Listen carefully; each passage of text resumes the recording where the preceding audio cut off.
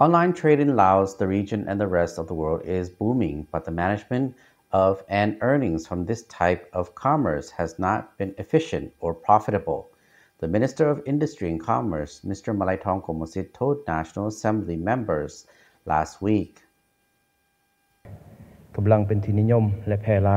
The government is looking at ways to derive more financial benefit from e-commerce, hoping to better manage and develop this form of business in order to earn more revenue.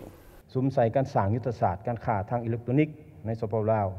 According to the Minister of Industry and Commerce, Mr. Malaithong Komosit, the ministry has instructed businesses to inform authorities about their online operations, but most keep their activities hidden and operate independently of government regulations. ในการบริการสื่อขาย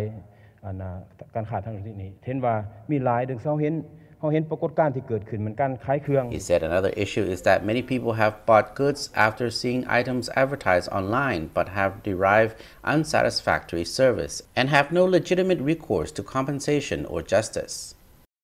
Adding that the management, monitoring, and promotion of online businesses is new for the ministry. If we want things to operate efficiently, we require strong cooperation from every government sector involved.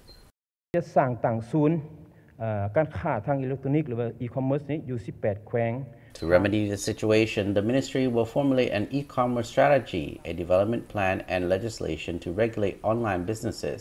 as well as facilitate their operations. The ministry plans to set up a coordinating office and build the capacity of staff in relevant government bodies to ensure that online businesses comply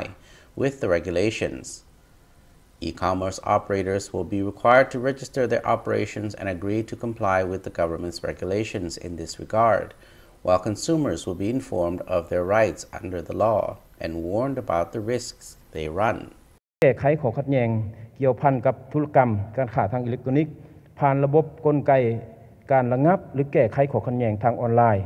ที่สามารถเชื่อมจอดกับ ระบบสายด่วน1510 The ministry will also set up a system to resolve disputes involving online businesses, including the use of the hotline number 1510 for consumers to register complaints.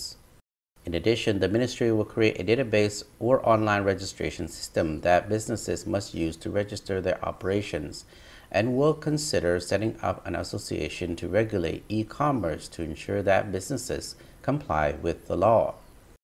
There are also plans to set up 20 e-commerce centers around the country to provide online businesses operators with access to the database. The ministry is working with Chinese authorities to create the database which is expected to be complete in June.